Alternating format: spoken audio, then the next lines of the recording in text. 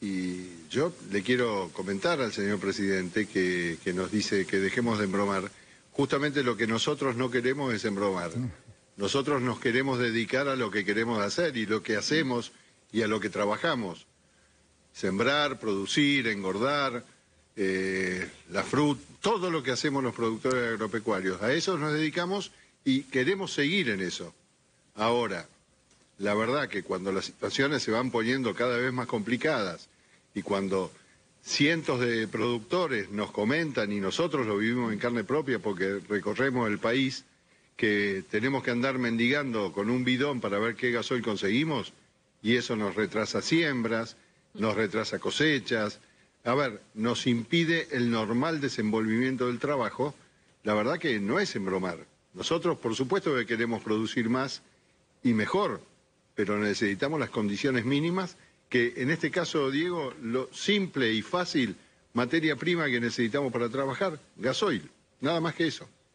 El presidente dijo que se está empezando a regularizar eso, ¿es cierto? No es por lo menos lo que nosotros vamos percibiendo de todas las comunicaciones que tenemos día a día.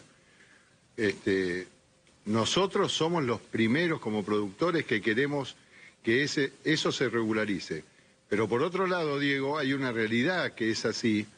Muchas veces cuando aparece el precio aparece el gasoil. Mm. Entonces, ¿qué situación tenemos hoy? ¿Hay gasoil? Póngale que haya. ¿Dónde está? En tal lado. ¿Cuánto vale? No sabemos. No sabemos.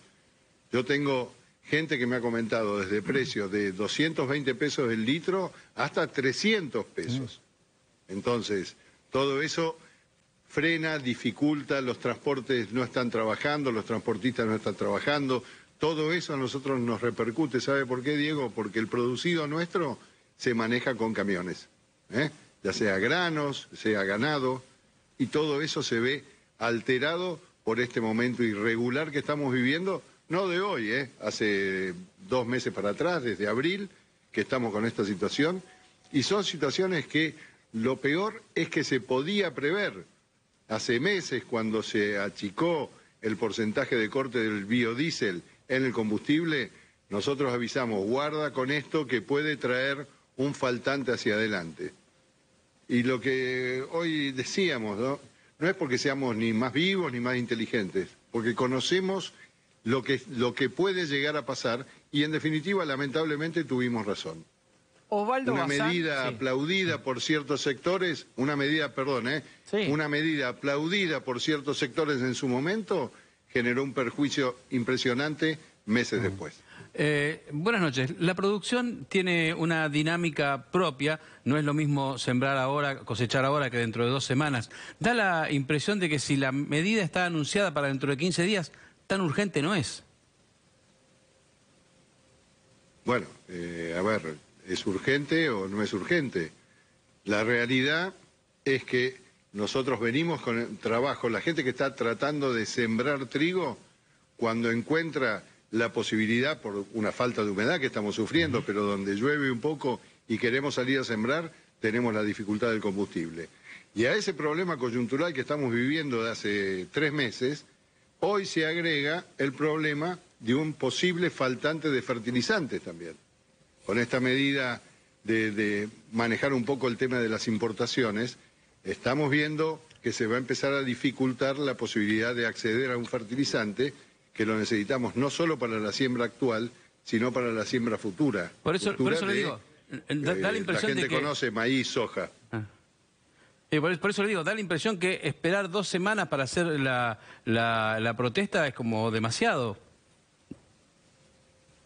No, no, pero a ver, eh, la protesta surge eh, desde otro ámbito. Ayer tuvimos una jornada muy importante acá en la sociedad rural una jornada organizada por la Mesa de Enlace que convocó a casi 40 representantes de diferentes cámaras, asociaciones, eh, gente de la exportación, gente del consumo, de la, de la parte frigorífica, de la parte de granos, economías regionales, y todos coincidimos, después de una buena jornada de trabajo, en lanzar un documento que nos presenta de tal manera que como productores estamos viendo y palpamos la situación de la Argentina actual y le decimos también a la sociedad que que el campo, el sector más productivo de la Argentina, tiene para aportar y aportar para qué?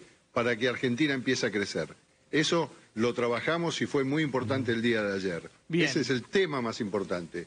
Bien. Después de eso, la mesa de enlace, la mesa de enlace decidió convocar a esta jornada de, una jornada de concientización, una jornada feder- federal de demanda, donde en diferentes zonas de las distintas provincias de la Argentina vamos a estar marcando, señalando que tenemos demanda para hacer, porque tenemos mucho para ofrecer.